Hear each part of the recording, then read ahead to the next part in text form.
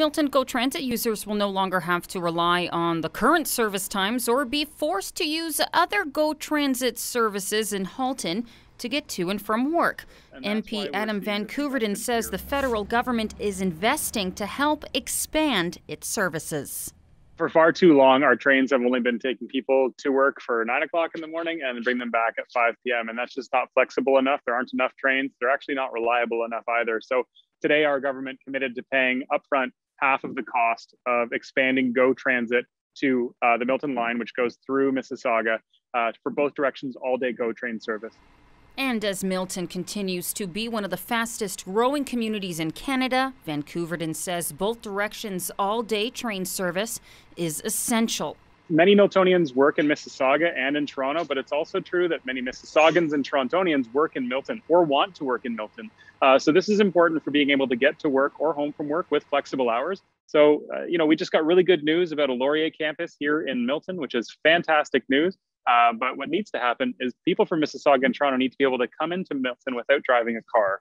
Uh, university students don't all have cars and they won't all be able to live in Milton. So uh, this is just so important for the mobility of Miltonians, but also for the economy of Milton. It also helps cl- fight climate change. We must become less reliant on our cars and rely more on public transit. And this is an investment that'll get us closer to that goal. Although transit services are normally under provincial jurisdiction, the federal contribution will come from the National Trade Corridors Fund.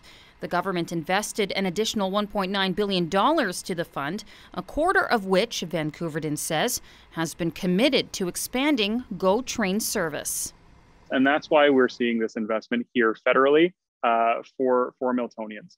Uh, it will require participation from all levels of government. You're right. Metrolinx is is a mostly provincial organization, so we do want the provincial government to come to the table. We've committed to pay for 50% of the project. That's up to about half a billion dollars.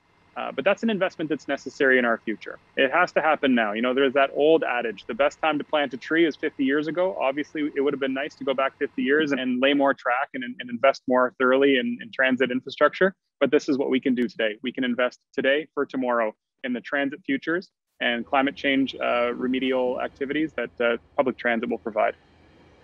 For Halton News, I'm Melissa Candelaria.